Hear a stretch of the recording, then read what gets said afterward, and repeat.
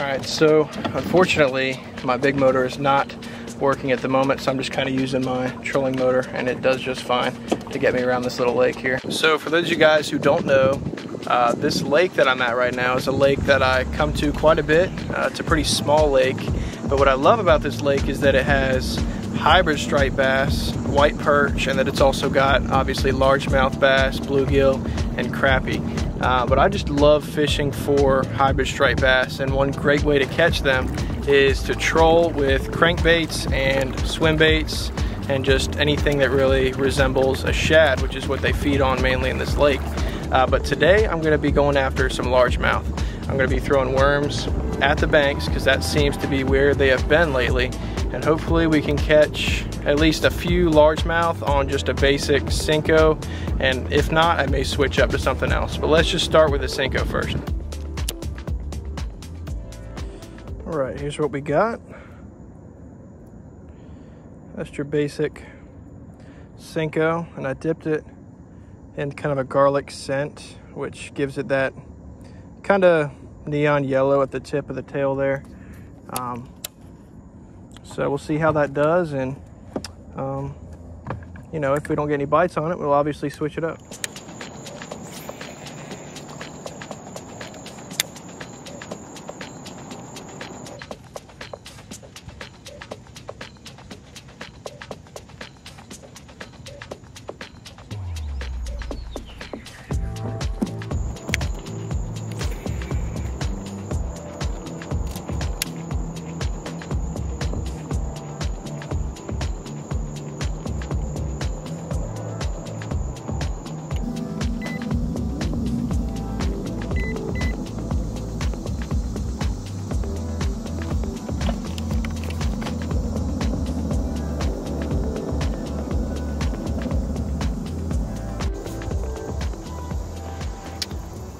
All right, so I couldn't help myself. I've been seeing a ton of fish on the fish finder, and honestly, I think a lot of them are hybrids chasing uh, shad. So I got a couple things tied on. I got a little uh, just paddle tail on this spinning rod, and then I've also got on my other spinning rod the good old Shad Rap. Uh, this one's a little bit of a deeper diving Shad Rap just so I can kind of get uh, variety in depths with my baits. I've also got a smaller bait tied on in case these fish are not hybrids. Maybe there's something a little bit smaller. And that would be on this little ultralight rod. The bait is just a little beetle spin. The little uh, curly tail on it.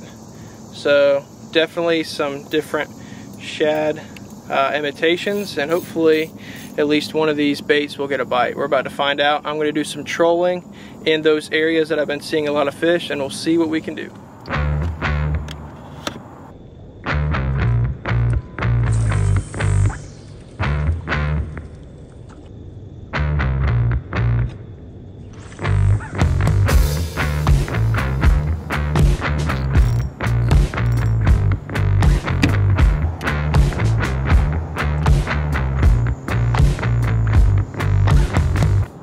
The nice thing about this setup I got going is once I have that trolling motor set to a certain speed, I can actually uh, control the boat just with the steering wheel here because I do have the motor down even though it's not functioning. I can still use it as kind of a rudder. Uh, so that's an easy way for me to be able to steer the boat, especially since I'm by myself while I'm trolling. Uh, so I can just kind of sit back here, steer the boat, and wait for a bite on one of these rods. All right, I think we may have a bite here. Oh,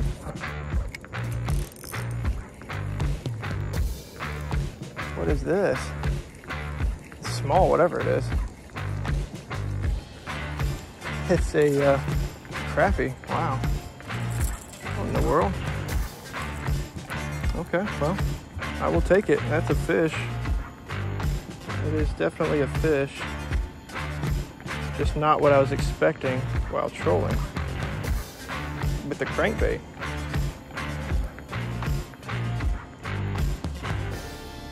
There's a little crappie. Let's go and let him go.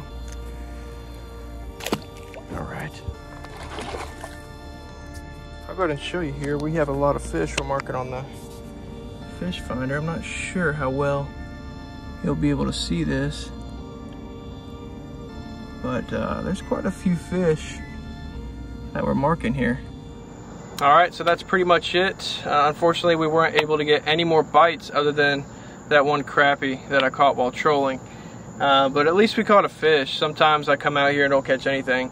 Um, and that honestly teaches me a little bit of a lesson, which is to not get distracted from my original goal, which today happened to be to catch uh, largemouth.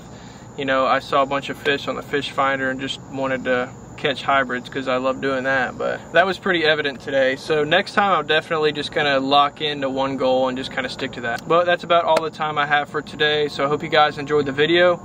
Remember to subscribe if you haven't already. And remember, there's always time for one more cast.